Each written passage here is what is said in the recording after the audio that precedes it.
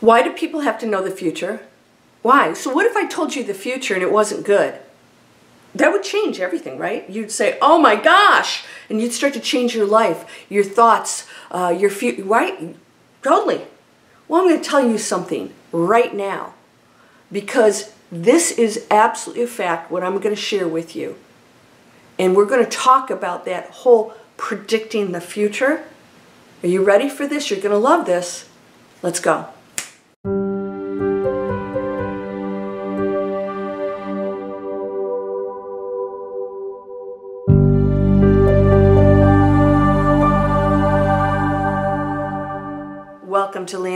Onkka on YouTube, here to help you break through the fears and live an amazing life. I say break through because fear is here as part of an experience. Without fear, we wouldn't get to experience the challenges.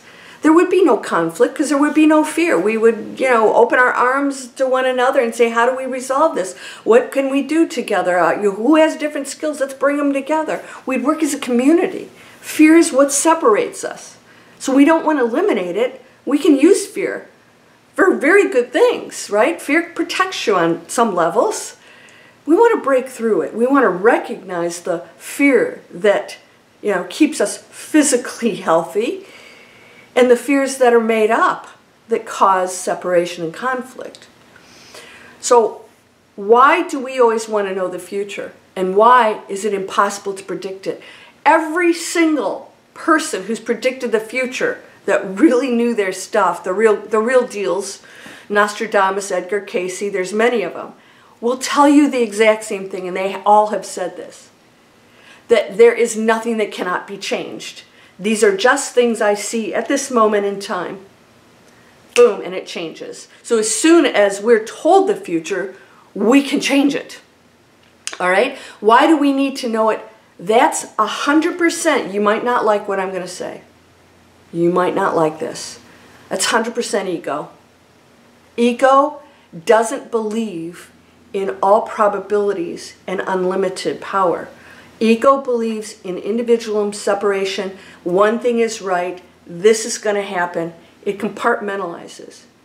And when you think that there's one future that you need to be told, your ego thinks that, that, that things are just set in time and that that's how it is. When you go to a higher frequency, you know that all things are possible and that it doesn't matter what somebody told you. I, I had uh, an astrologist uh, was it was a gift somebody gave me, telling me that my future and all these things, and I was really quiet. And she says, "Well, you're really quiet." I said, "Yeah." What do you want me to say? I said, "I'm trying not to lead her, right?" Uh, she says, "Well, you know, just uh, what do you think of what I'm saying?" I said, "I think." That no matter what you tell me, I can change it. So it doesn't matter what you tell me. She says, Yeah, I agree. I said, Good. Because you can say I'm a, a Pisces or a Libra or whatever, and this is how I am, and I can change that too. Why? Because I am the universe.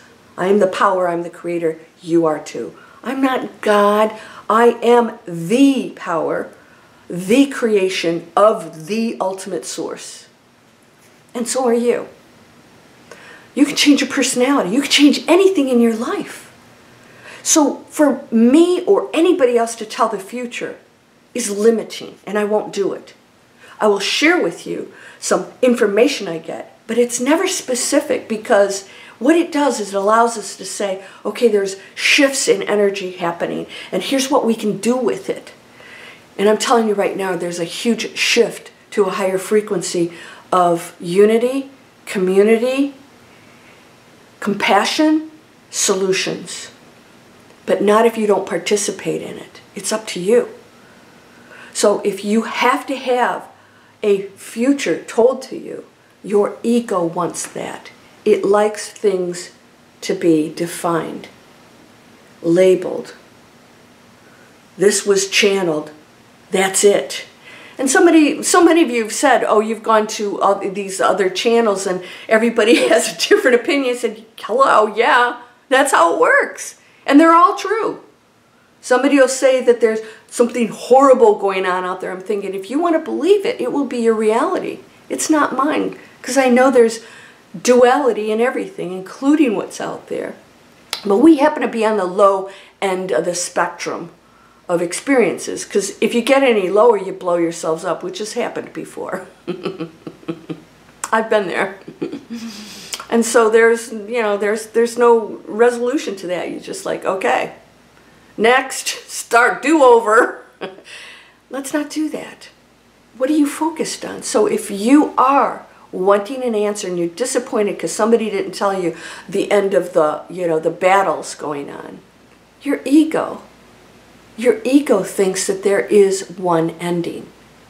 And that's probably how you're living your life, and you don't have to.